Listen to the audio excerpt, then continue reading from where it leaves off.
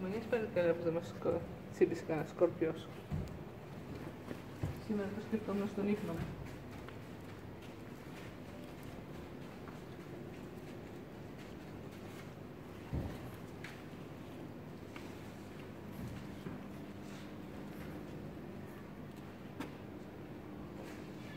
Τα πουκάμισα.